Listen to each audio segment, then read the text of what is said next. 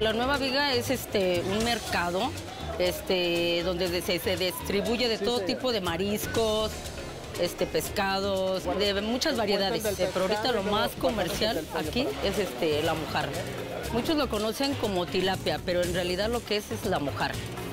La mojarra es el más consumido aquí en México porque hay abundancia, hay abundancia de mojarra. Entonces casi puede haber este, mojarra nayarit, puede haber mojarra chapaneca.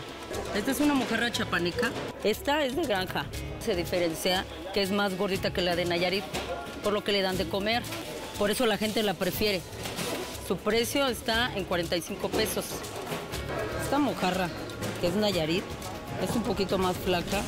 Y esta es de río es un poquito más sucia, no brilla tanto como la chapaneca, por eso la chapaneca es más cara.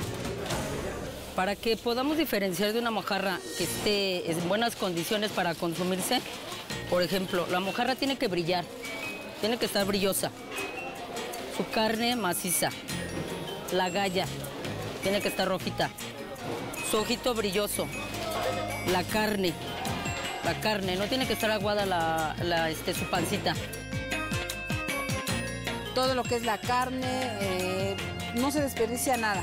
Todo, todo es pura carne, es un solo espinazo, no trae espinas entre la carne, entonces te aprovecha todo. Normalmente se prepara lo que es al mojo de ajo, eh, la puede preparar sea a la diabla, hacer a la talla, incluso hasta para caldo sirve la mojarra.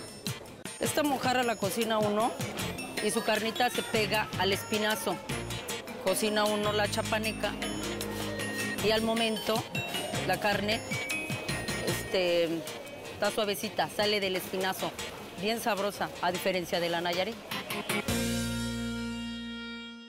Con el sabor de nuestra tierra vamos a cenar. Cocineros mexicanos ya va a comenzar. En Azteca 7 juntos van a